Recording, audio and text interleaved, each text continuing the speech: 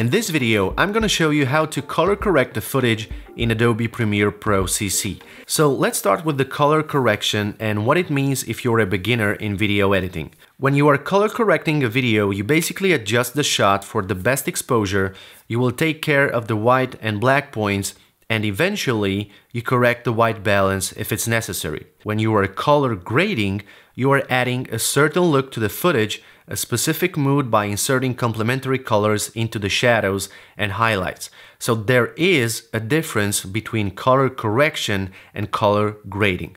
If you want me to make a tutorial on how to color grade in Premiere Pro, just hit the like button and I will do that tutorial. So you need to have Premiere Pro CC to have access to this Lumetri panel and if you don't see it anywhere on the screen, just go to Window and activate Lumetri Color.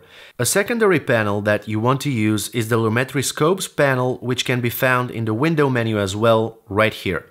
If you will open it for the first time, you may see two or three kinds of scopes. Just make sure you right click in the Lumetri Scopes panel and keep the waveform Luma active and also go to waveform type and choose Luma. Okay, we have the panels that we need on the screen, so let's see what we can do with this footage. As you can see, the image is a bit flat, so it doesn't have so much contrast and it's underexposed for me. We can raise the exposure with a specific amount, but how do we know if the bright parts are blown out or not? Or if we drag down the shadows, how do we know if specific areas in the clip are not too dark or 100% black? Well, it's very simple. We can use the Lumetri Scopes panel, which will tell us technically if we have blown out areas or if we have areas which are too dark. We have a 100 value for highlights and a 0 value for dark pixels. To have a correct footage, you don't want the highlights to reach 100 and the shadows to reach the 0 value. This clip that we are editing now needs to have a good exposure for the first part when the woman is coming out from the forest and also when the camera follows her until the bright sky comes into the frame. For example, if I bring the exposure up to 1.8 or 2, at the middle of the scene when the sky comes in, I can see in the Lumetri scopes that the highlights are blown out. I'm losing details there, so this exposure is not the right one. In this case, the best thing to do is to expose for the sky first. I can reset the exposure slider if I double click on it and as a personal preference, I will first add some contrast to the footage. I will go with a value of around 80. Also, please keep in mind that this is a creative process. Everyone is free to use these sliders in a different way. There is not a right or wrong way for the final look, so feel free to create your own style. Okay, next I will adjust the exposure slider to something like 0.5 or 0.6, something like that.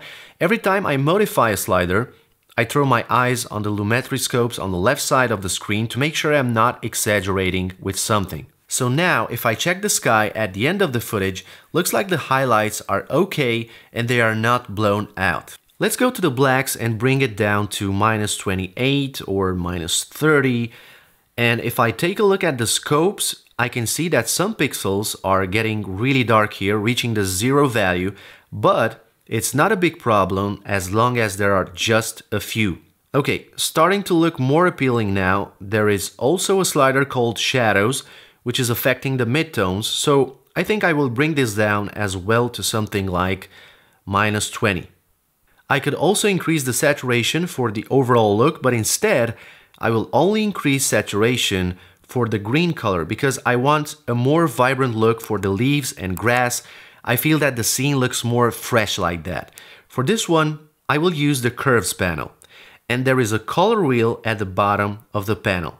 Under the panel, I have six colors.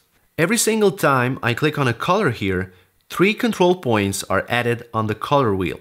I click on the yellow, I have three points. I click on the green color, three more points were added, and so on. If I want to reset the wheel, I just double click on it. So I will click again on the yellow and the green colors to add those six points again.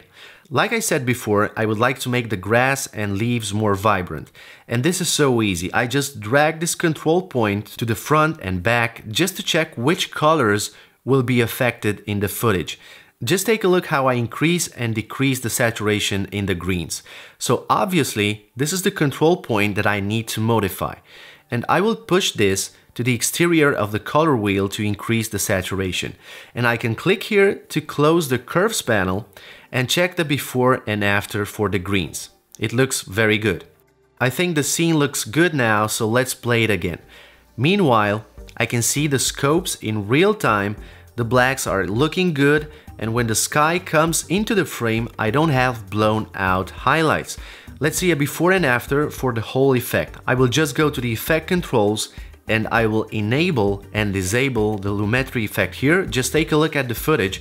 What a big difference. We started with a flat look and we have this nice looking footage in the end. So this is how you color correct footage guys.